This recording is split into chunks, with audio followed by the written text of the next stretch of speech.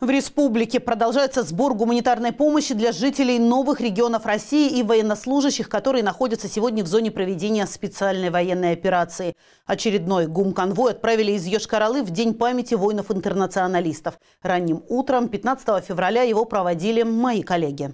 Несколько партий гуманитарных грузов, собранных жителями Мариэл для Донецкой и Луганской народных республик, уже доставлены по назначению. Никто в нашей республике не остался равнодушным к трагедии Донбасса. Очередной сбор необходимых вещей и продуктов проходил во всех районах Мариэл. На передовую для наших мобилизованных бойцов и местных жителей отправляется еще порядка 40 тонн гуманитарных и военных грузов. Благодаря помощи глав муниципальных образований, всех 17 муниципальных образований, нашего спортивного сообщества, особенно боксеров, которые нам закупили именно в интересах наших командиров два УАЗика 469 и 452.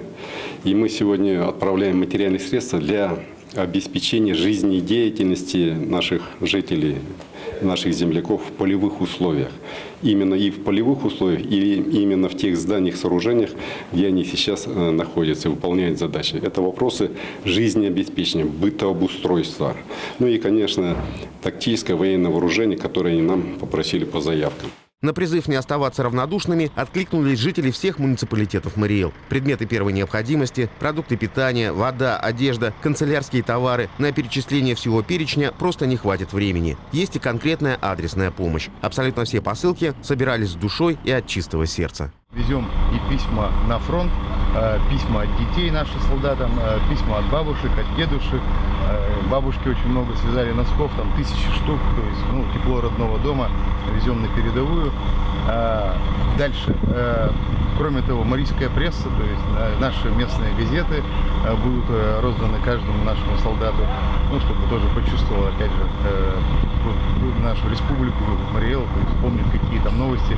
Везем и необходимую военно-шефскую помощь, и теплые вещи, и продукты питания.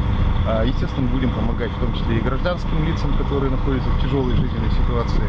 Вот. Но основная цель нашего конвоя – это жители Республики Мариэл, которые находятся на передовой. Как мобилизованные, так добровольцы, ну и, и контрактники. Такие гуманитарные конвои из нашей республики будут отправляться регулярно. Сейчас Донбасс остро нуждается в продуктах и предметах личной гигиены. Затем наступит очередь строительных материалов для восстановления разрушенного войной хозяйства. Очередной гуманитарный конвой пойдет на Донбасс 28 февраля. Основную часть груза составят пиломатериалы, которые будут использованы для оборудования блиндажей на передовой. Всероссийская акция «Мы вместе» продолжается.